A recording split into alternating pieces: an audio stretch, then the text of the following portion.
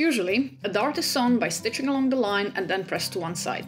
However, with bulkier coat fabrics there's just too much, well, bulk. Some instructions suggest adding a fabric scrap to the dart seam line, then pressing the dart and the fabric in opposite direction. It is an improvement, sure, but we can do better. Let me show you what I do.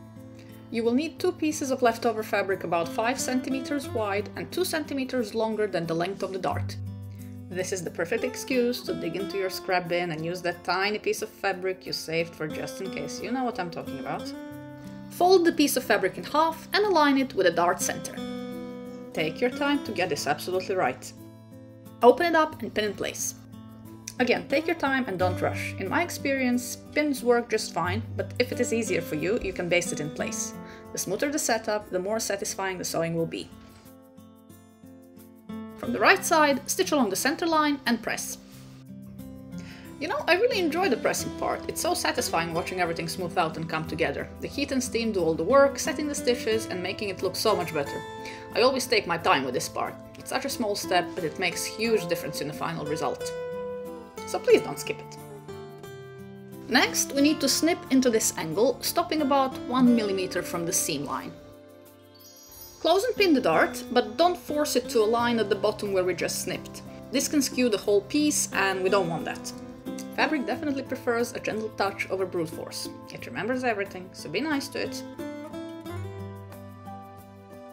Place the second piece of scrap fabric under the stitch line of the actual dart and pin it in place.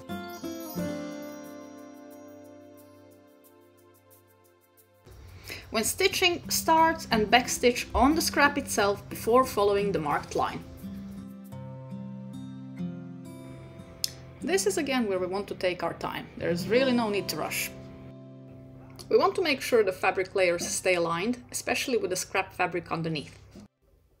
It doesn't have to be on grain, we're not using it to stabilize the seam. We just want to make sure it looks nice and even from the right side.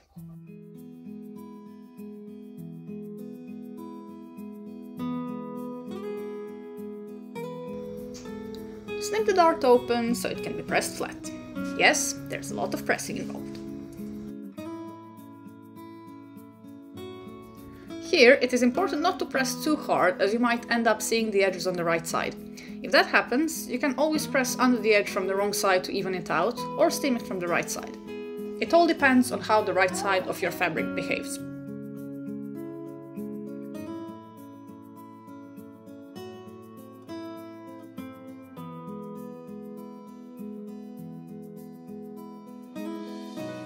After pressing the scraps to the opposite directions, we can trim those extra 2 cm we allowed for earlier and grade the scraps to 5 and 10 mm. This ensures that they don't show on the right side.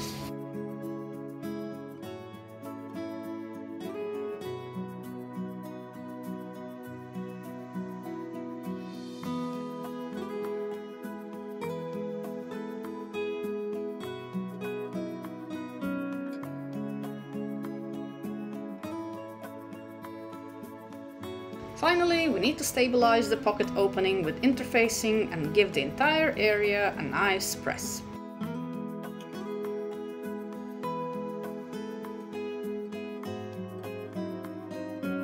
I like using self fabric here to avoid disturbing the tiny hairs of the coat material.